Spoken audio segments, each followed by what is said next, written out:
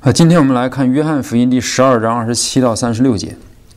啊，今天的重点不是解经，而是把这段经文的属灵原则应用在我们的生活中，啊，用来进行啊圣经辅导。二十七到三十六节，啊，我想给大家读。我现在心里忧愁，我说什么才好呢？父啊，救我脱离这时候，但我原是为这时候来的。父啊，愿你荣耀你的名。当时就有声音从天上来说：“我已经荣耀了我的名，还要再荣耀。”站在旁边的众人听见，就说：“打雷了。”还有人说：“有天使对他说话。”耶稣说：“这声音不是为我，是为你们来的。现在这世界受审判，这世界的王要被赶出去。我若从地上被举起，就要吸引万人来归我。”耶稣这话。原是指着自己将要怎样死说的。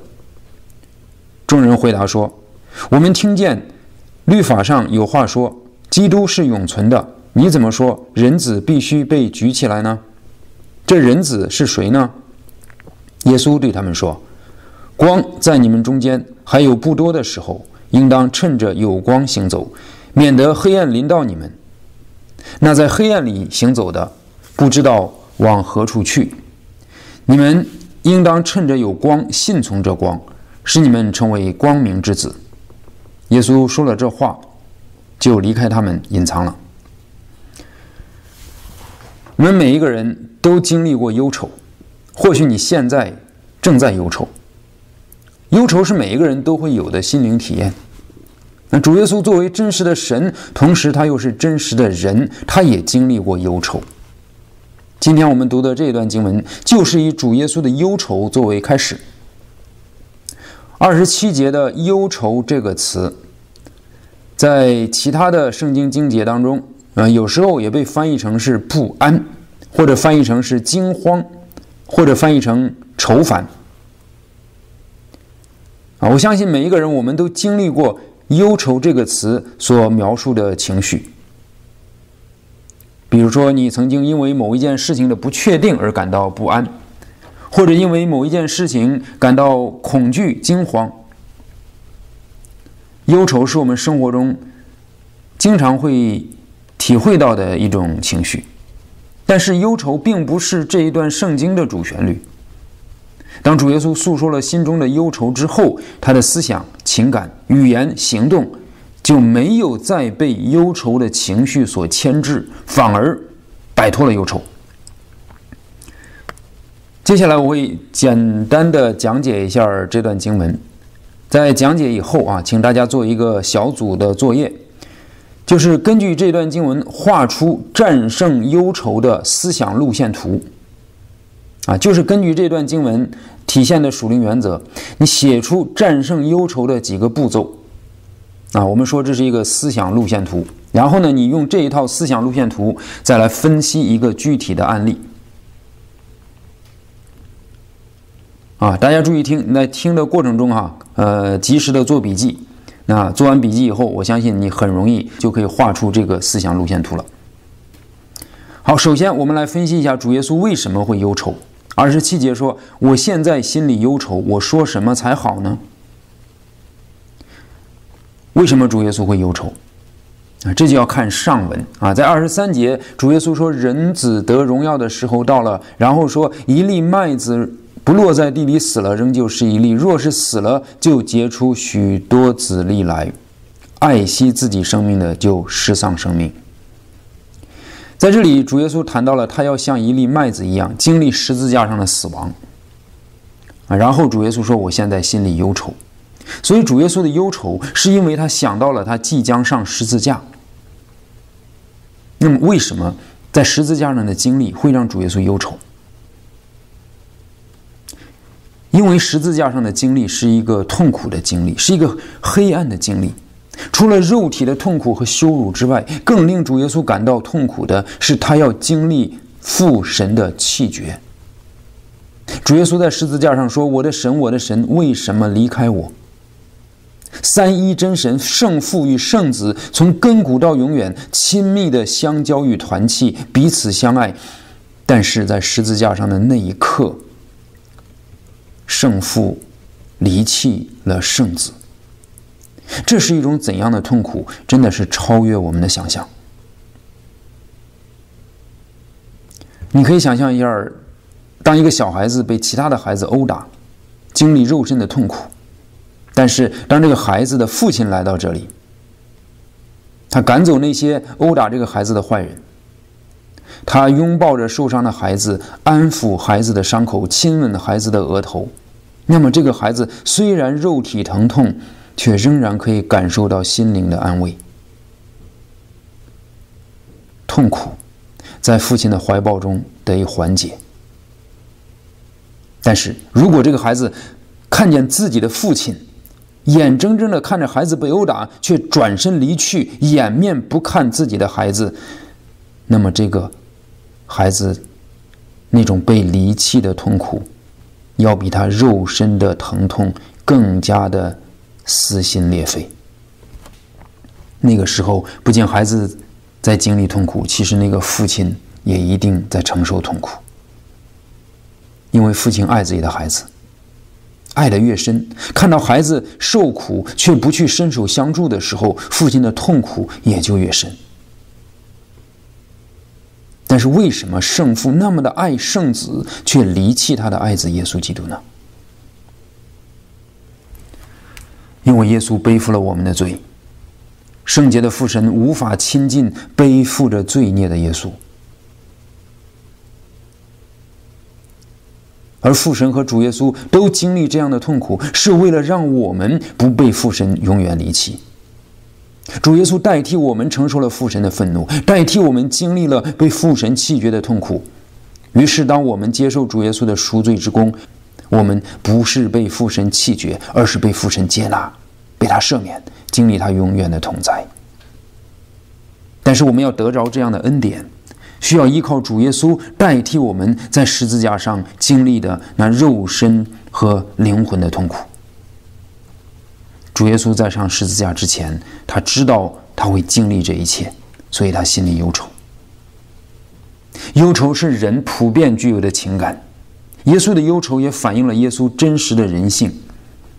当耶稣忧愁的时候，他没有被忧愁的情绪所掌控，反而他很快的摆脱了忧愁。然后毅然决然地走向十字架。在第二十七节，他向父神祷告说：“我现在心里忧愁，我说什么才好呢？”接下来，主耶稣说：“父啊，救我脱离这时候。”主耶稣战胜忧愁的第一个步骤是他向父神祷告。他在祷告中首先诉说了自己的心境。从情感上来说，主耶稣不愿意经历十字架上的痛苦。他说：“父啊，救我脱离这时候。”这是主耶稣真实的情感表达。他向父神诉说他内心的情绪。我现在心里忧愁。接下来他又说：“我说什么才好呢？”意思是我不知道如何表达内心的忧愁。主耶稣没有花费时间去组织语言，详细的描述他的心境。如果说他花费太多的时间和语言去描述他的忧愁，那么他的祷告就会变成单纯的诉苦。但是主耶稣没有一直诉苦，主耶稣没有继续的抱怨，也没有自哀自怜，也没有为自己辩护，也没有用丰富而冗长的语言解释自己遭受十字架的痛苦是何等的不公。他没有，他只是说：“我说什么才好呢？”想象一下我们自己，当你忧愁的时候，你可能更愿意找人去诉说。如果你的妻子或你的丈夫使你忧愁烦恼，你可能直接把你心中的情绪发泄到这个令你痛苦的人身上，或者你找一个好朋友去倾诉，诉说你心中的痛苦。但是，不管你跟哪一个人倾诉，只要你倾诉的对象是人，通常你都会滔滔不绝。可能你也会说：“我说什么才好呢？”但是接下来，你会继续说，你会整理一下思路，然后你就知道自己该说什么了，然后你就开始为自己辩护，然后控诉那个惹你生气的人，指责他的不是，说明你自己的无辜。然后这种倾诉就变成了一种自哀自怜和对他人的控告。但是如果你不找人去倾诉，你去向神倾诉，你也要很谨慎。有些时候，你向神的祷告也可能会变成一种自哀自怜式的控告。那是因为我们会忽略祷告的对象是那位全知全能的上帝，然后慢慢的祷告变成了自言自语。其实那已经不再是向神祷告了，而变成一种自我倾诉了。说话的对象不再是上帝，而变成了自己。所以，无论是向他人倾诉，还是向自己倾诉，我们都不如向神倾诉，因为神最了解你的处境，神也有智慧，知道该如何引领你的道路。当你清楚的知道自己倾诉的对象是上帝，你又带着敬畏的心去祷告。你就不会在上帝的面前去控告他人，你也会在上帝的面前谦卑的认自己的罪。当你清楚的知道你说话的对象是上帝，是那位爱你的父神，你就会觉得我根本不需要自爱自怜，因为那位伟大的上帝这么的爱我，我岂不是很幸福吗？人的伤害算得了什么？人的伤害根本就无法抵消或者削弱天父对我的爱。所以不需要自爱自怜，神的爱充满在你的心里，就驱走了内心的自哀自怜和受害者心态。接下来，主耶稣说：“但我原是为这时候来的，父啊，愿你荣耀你的名。”祷告的第二步就是要把思想转向神的荣耀。啊！不要一直只是倾诉自己的痛苦，要在祷告中发生一个思想的转变，从自己的痛苦转向神的荣耀，调整思想的频道。这个频道一旦调整过来，你就会经历到灵里的力量。通过十字架的苦难，神的荣耀可以得以彰显。父神的公义与慈爱、审判与怜悯、圣洁与救赎、得胜与全能，都可以借着耶稣基督并他钉十字架彰显出来。经历十字架的苦难之后，耶稣基督会进入得胜与荣耀。所以，为了成全父神的旨意，耶稣不再祈求父神救他脱离那时候，而是祈求父神荣耀他的名。主耶稣很清楚知道，他祷告的对象是父神。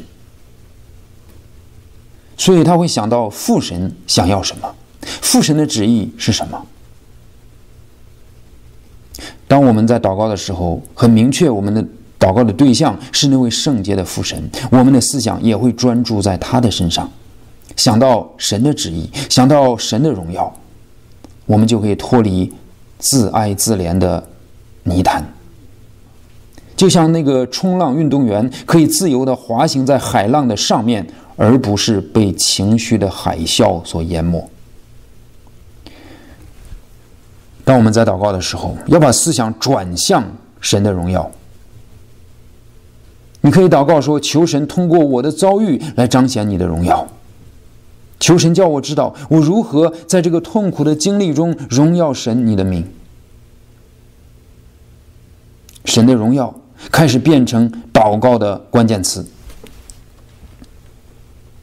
接下来，父神对主耶稣做出了回应。当时就有声音从天上说：“我已经荣耀了我的名，还要再荣耀。”那么，当我们在祷告之后，会不会听到父神从天上用声音对我们说话呢？啊，今天父神通常不用这种方式。今天我们要寻找到适用于所有人的普遍原则。在祷告后听到超自然的声音啊，这不是神工作的普遍原则啊！我不是说神绝对不会这么做啊，神有能力这么做，神完全可以凭借他的主权来做这种事情，但那不是神普遍的做法。今天神更普遍的做法是让我们通过他启示的话语，就是圣经里的话，并借着圣灵的光照来明白神的心意。所以我会说，向神祷告之后，我们要做的第二个步骤就是默想神的话语。可能神借着圣灵的感动，让你想到某节圣经的经文；可能你在早晨灵修的时候读到了某一句话，触动了你的心，你就多多的默想这些神的话语。你也可以默想今天我们读的这一节经文，就是我已经荣耀了我的名，还要再荣耀。当你正在经历忧愁、正在经历痛苦的时候，你可以默想这一句话。神说：“我已经荣耀了我的名，还要再荣耀。”要默想这一句话，首先要思考的第一个问题就是：思考神曾经如何荣耀了他的名。因为第一句话，神说：“我已经荣耀了我的名。”那么过去神的荣耀已经彰显了，所以我们就可以思想神曾经在历史上的作为。你可以思想。呃，圣经中记载的神荣耀的作为，你也可以思想，在你个人的生活经历中，曾经经历过哪一些神荣耀的作为？啊，思想过去不是为了停留在一种回忆里，而是为了认识那位永不改变的神，因为神的工作反映了神的品格，反映了神的性情。神的所作反映了神的所事。曾经，神让红海分开，这表明了神无所不能的能力。那么，若干年后，这位无所不能的神也可以叫约旦河分开。神曾经帮助大卫打死狮子和熊，这反映了神的能力和神的同在。这位与人同在的大能的神，也可以有朝一日帮助大卫打死歌利亚。所以在你思想神。曾经如何彰显他荣耀之后，你接下来就可以相信神会继续彰显他的荣耀，因为神在这里说：“我已经荣耀了我的名，还要再荣耀。”后半句说：“还要再荣耀。”虽然我们所处的时间和主耶稣上十字架之前的那个时间点是不一样的，但是我们也可以相信，将来神还会再荣耀他的名。在你未来的人生中，神可以继续彰显他的荣耀，因为神继续的在你的生命中掌权做工。有一天，耶稣会再来彰显他的荣耀，我们总有一天会看见神的荣耀。神已经荣耀了他的名，还要再荣耀，所以我们可以相信，无论令人忧愁的环境持续多久，总有一天我们会看见神的。荣耀，因为他引领我们经历水火之后，会带领我们进入丰富之地。所以，请凭着信心去探寻那丰富之地。那我们可以做什么呢？我们可以做什么才能够让神透过我们来彰显他的荣耀呢？这就是我们要思考的第三个问题，就是思考我做什么。可以彰显神的荣耀。主耶稣知道他要通过走向十字架来彰显神的荣耀，所以主耶稣走向了十字架。但是他不只是走向死亡，他也是在走向死亡之后的复活，走向复活之后的荣耀。这是耶稣要做的事情。感谢神，他呼召我们每一个基督徒也加入一个荣耀的计划，融入一个荣耀的使命。他也分配给我们荣耀的工作，所以我们也要思想，我们可以做什么去荣耀神？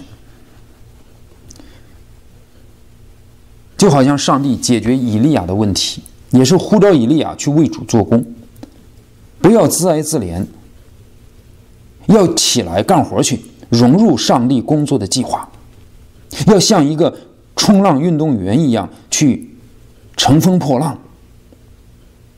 如果你继续的停留在这里，思前想后，觉得自己很可怜，觉得自己很痛苦、很冤枉，那你只能被海浪所淹没。要记得，上帝在工作，你也加入上帝工作的计划，做你该做的事儿。比如说，如果我的愁苦是因为我的罪造成的。那我就不要埋怨别人，我自己在神的面前来认罪悔改，见证上帝的赦罪之恩。借着上帝的赦罪之恩，可以彰显出神的荣耀。如果我的忧愁和我自己的罪无关，而完全是由其他人的罪所导致的，如果说我完全真的就是一个受害者，那么，如果上帝通过公义的审判来彰显他的荣耀，神可以那么做，那我可以做什么呢？是否上帝可以通过我赦免仇敌、爱仇敌的见证来彰显他的荣耀呢？是的，可以。这是我可以做的事情。如果我的痛苦找不到一个明确的原因，既不是我自己的罪造成的，也不是别人的罪造成的，那我可以做什么呢？我可以思想，如果上帝允许这样的事情发生，上帝接下来他一定有这个能力，也有这样的智慧，把我痛苦的经历转变成一个荣耀的结局。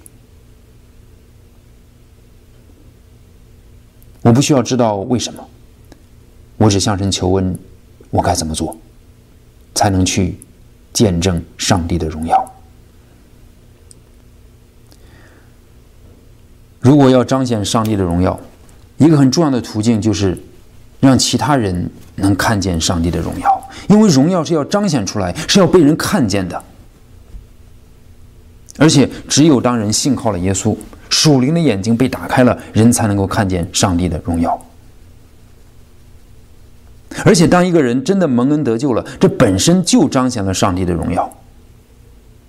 所以，如果我们渴慕上帝的荣耀，我们就应该渴望其他人能够从上帝那里得到祝福，尤其得到救恩的祝福。这就是我们要走的第三个步骤：去祝福他人。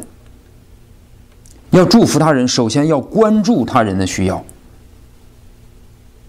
我们回到约翰福音的这段经文里来，当父神从天上说话，周围的人吓了一跳，啊，他们显然没有抓住重点，啊，主耶稣说：“这声音不是为我，是为你们来的。”如果呃父神只是为了给主耶稣加添力量，其实父神不用发出声音从天上说话。只是借着圣灵在耶稣心里做工就可以了，但是父神还是可以用人听得懂的语言来说话。那这是为了什么？是为了周围的人，让周围的人可以相信耶稣是父神差来的救主。因为只有他们信靠耶稣，他们才能够与神的荣耀有份。主耶稣也把他思想的焦点转向了周围的人。耶稣不再纠结于自己的忧愁，而是看到周围人的需要。他说：“这事不是为我，乃是为你们。”然后主耶稣宣告了他上十字架之后要成就的得胜的结局。他说：“现在这世界受审判，这世界的王要被赶出去。我若从地上被举起来，就要吸引万人来归我。”这是得胜的结局。通过主耶稣在十字架上的死和第三天的复活，他拯救那些凭着信心归向他的人。耶稣要招聚属他的人归到他的名下，他们要摆脱罪的辖制和魔鬼的权势。而那些拒绝基督救恩的人，会继续沉浸在罪的权势中，等候末日的审判。但基督复活之后，天上地下所有的权柄都交给他。世界的王魔鬼撒旦要被道成肉身的耶稣基督所打败。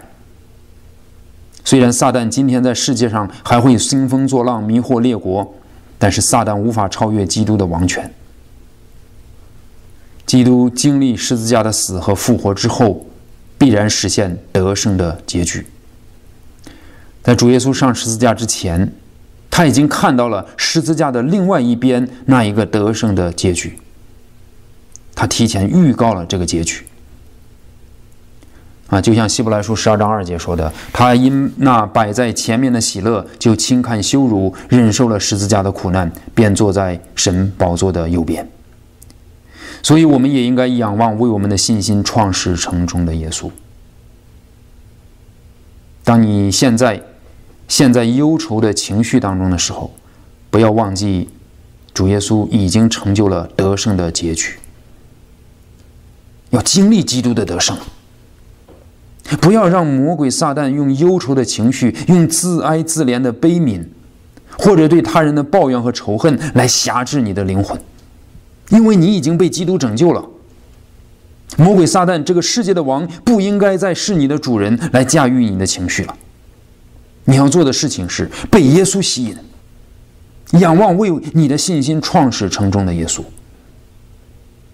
想一想，主耶稣因着摆在前面的喜乐，就轻看了羞辱，忍受了十字架的苦难，就让耶稣赐给你这样的能力去穿越苦难。所以，当你在思想其他人的需要之后，你自己要去经历基督的得胜，然后你才有能力去祝福其他的人。不要自哀自怜的站不起来，要起来，因为有人。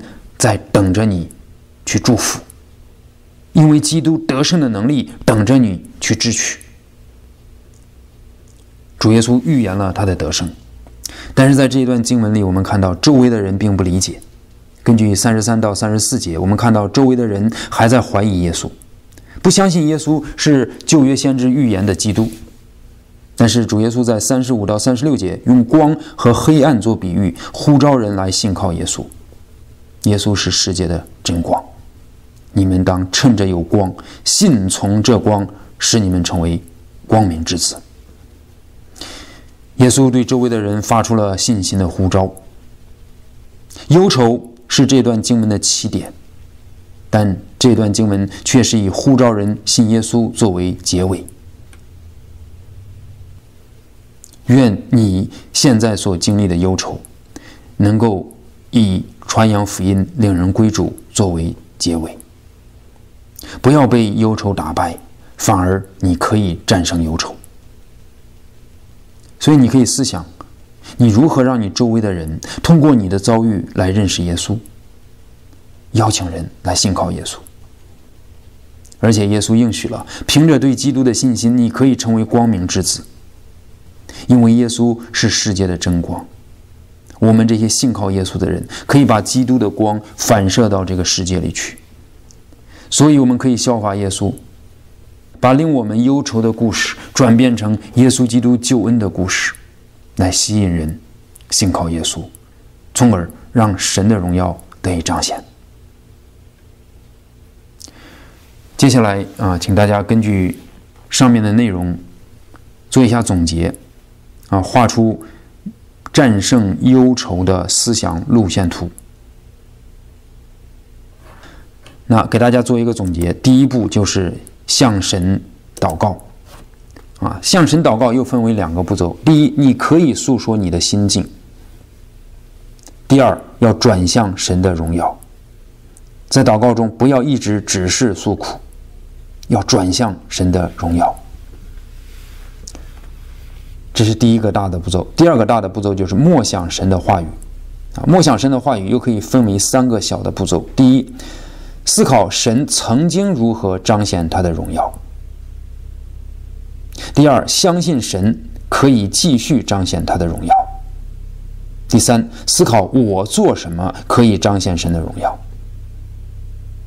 啊，这是第二个大的步骤，默想神的话语。然后第三个步骤就是去祝福他人。祝福他人又包括三个部分：第一部分，首先关注他人的需要；第二，我们自己要经历基督的得胜，啊，经历基督的得胜；最后，邀请人归向基督。最后，我用一个具体的案例来使用这个思想路线图来分析这个问题啊，用我这个第一人称来代表这个故事的主人公。我和马可在同一个部门研发救助残疾儿童的科技产品。我在这个领域有丰富的经验，工作也很努力，并且贡献了很多好点子。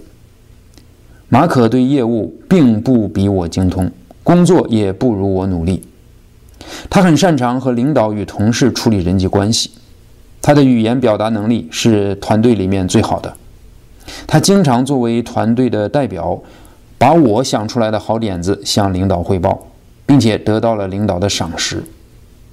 项目完工了，公司开表彰大会，马可将获得公司的嘉奖，他的奖金和荣誉远超过了我和其他的成员。